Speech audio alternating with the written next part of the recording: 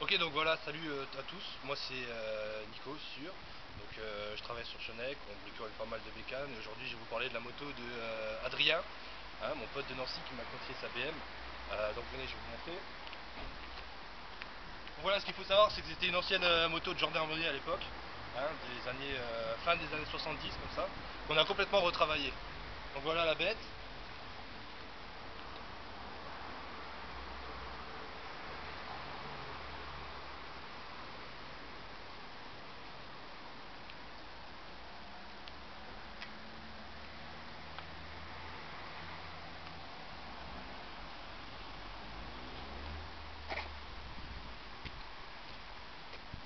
Donc euh, voilà, vous l'aurez constaté, plus grand chose à voir avec euh, la moto d'origine. Euh, première chose qu'on a fait, on l'a mis à poil.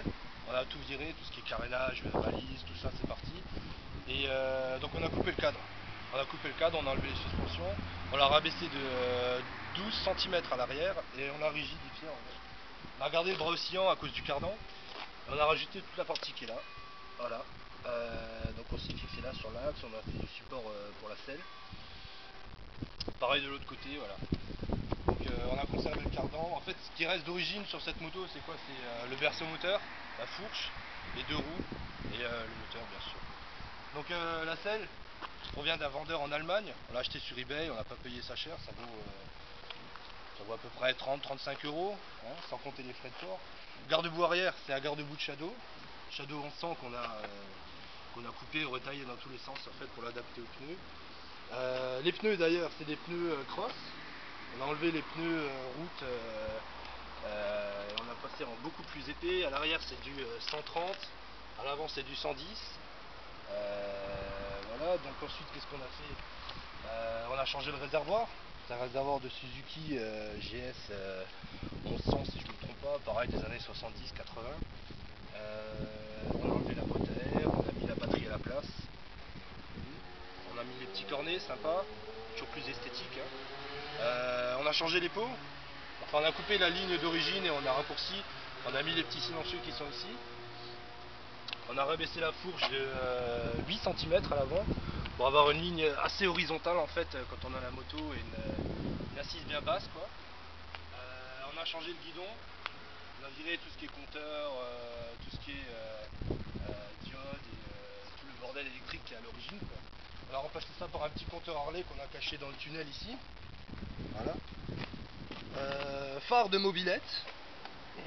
Super sympa, euh, qui colle bien avec le look de la moto quoi. On a rajouté une petite grille pour, euh, faire plus militaire quoi. Et comme c'était du 12 volts, ben, on a passé en 6 volts avec une ampoule H4 quoi, tout ça. voilà, qu'est-ce qu'on peut dire d'autre quoi? C'est une bécane qui, qui démarre au quart de tout. La faire partir tout de suite. C'est parti.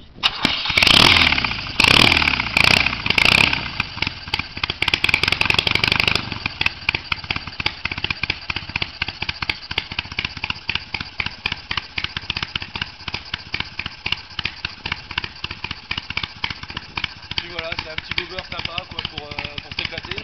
Donc euh, il faut que je remercie, avant de finir, il faut que je remercie euh, bah, mon pote Cédric qui est derrière la caméra aujourd'hui. Un grand merci aussi à Jean-Marie pour, euh, pour, les soudures du cadre. Un merci à Gilles qui nous a fait un faisceau électrique euh, super. Et euh, bah, Adrien, le propriétaire, sa copine Estelle pour, bah, pour les coups de main et le temps qu'ils ont passé dessus avec moi. Merci et bravo